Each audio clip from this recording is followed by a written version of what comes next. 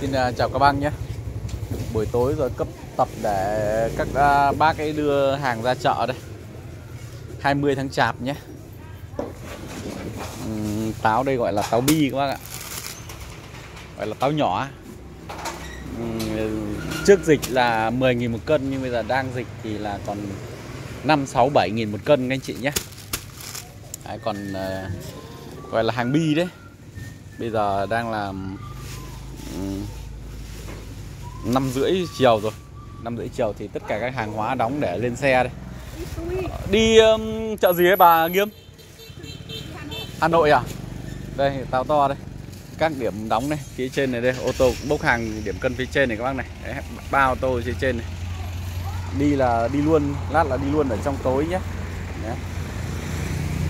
đây Đấy, các ô tô bốc kia nữa các bác các bác à. Đấy đây ở ngoài đường. Chưa bốc hết à Hoa ơi? Đang chờ à? Đấy. Ờ, bốc bao nhiêu xe rồi Nhưng mà vẫn còn rất là nhiều.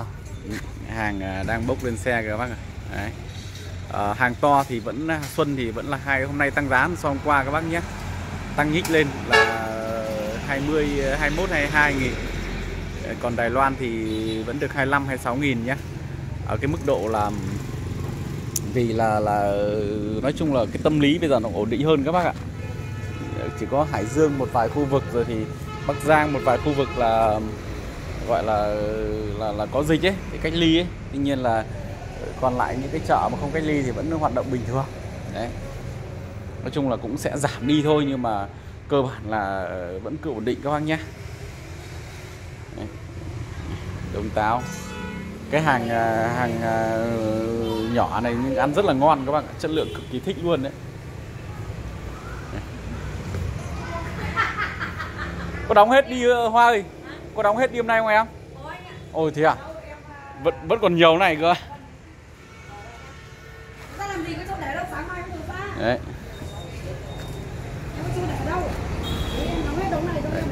Cân xong bây giờ mới ăn cơm tối cơm trưa anh chịu cô rồi. Đấy, còn hàng to đây. Đấy, hàng to, táo to đây các bác ơi. Đấy, thì nó táo nó rất nhiều loại giá các bác nhé. Cứ không phải là cứ táo là một loại giá đâu. To thì phải to đẹp hay thế nào mã như thế nào to lại là rất nhiều thứ. Nhưng mà cái hàng đẹp thì bao giờ bán cũng có giá các bạn ạ. Còn hàng nhỏ thì thấp hơn to lại là mỗi hàng một loại mà nên là đi hàng Tết bình thường mà không um, không phải bén Covid ấy thì uh, những cái cửa buôn người toàn đóng đến 7 8 8 9 giờ bốc đến 10 giờ đêm các bác ạ. Bốc đến 2 30 tấn một ngày nhưng mà với cái dịch này thì uh, sẽ sản lượng giảm đi rất tương đối nhiều. Đấy, nên là cũng ảnh hưởng là như vậy các bác nhé. Hôm nay hoa hoa hôm nay cân bao tấn em? Chắc phải hơn chục tấn à? Có hoa bốc ghê rồi. Chục tấn à? Hàng đi, hàng ờ, về đấy.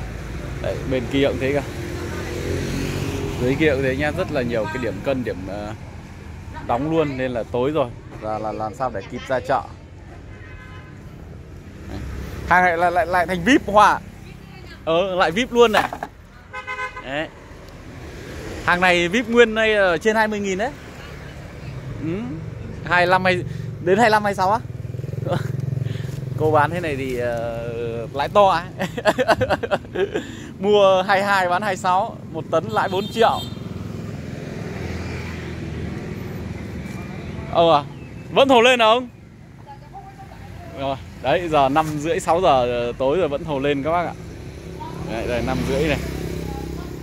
Đấy thì uh, uh, buổi chiều tối nên là vừa đóng vừa cân vừa hàng đi hàng Tết đây thì để cập dập cho ngày ông công ông táo nên là trong hôm nay ngày mai đặc biệt là ngày 22 sẽ cực mạnh luôn nhé hàng ờ, thường thường như thế. Và sau đấy là từ nay đến Tết là hàng nó dồn dập lắm các bạn ạ. Hàng lúc nào cũng nhiều mỗi nhà cân đều hơn mười mấy 10 tấn đến hơn 10 tấn cơ rất là nhiều luôn các bác nhé.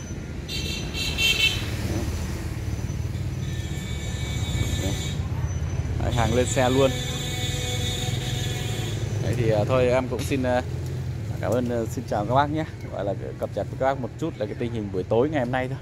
Gọi là hàng chuẩn bị đi chợ chợ đêm. Lát em có đi theo xe không? Em không. À đây chỉ cân hàng gửi lên xe thôi gì? Vâng. Ừ nhiều lắm. Quá nhiều hàng luôn. Đấy ở bên ờ, em qua cái vườn này cái bán bên kia cũng rất là nhiều. Đấy đây này.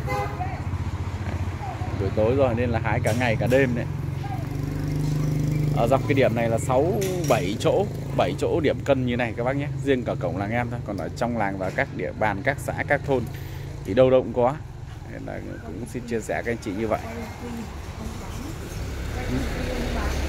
Ừ. Đấy.